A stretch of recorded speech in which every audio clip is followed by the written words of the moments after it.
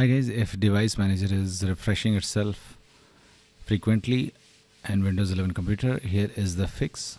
First of all, it may be due to an external USB device connected to your computer. So to uh, what you can do, you can disconnect certain USB devices from your computer and see if your problem is fixed or not and if your problem is fixed by disconnecting any USB on your computer then that means that USB is reconnecting and connecting every time disconnecting every time and this is giving you the problem.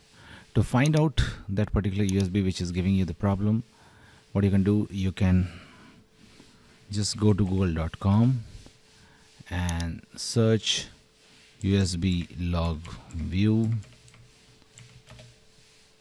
and now just go to this link nirsoft.net and scroll down and download it.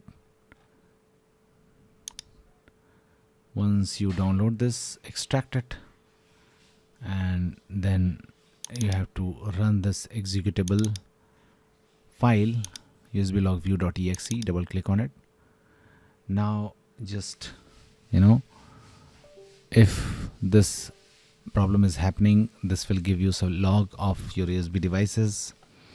So you can uh, find out the culprit USB problematic USB so this is the product name and you can find out that this is giving the problem. So what you can do you can disconnect that particular device. Now if this issue is not solved then what you can do let's move to method 2 and that is just search services in Windows search click on services and find SSDP discovery. Double click on it and click on stop and see if your problem has been fixed or not.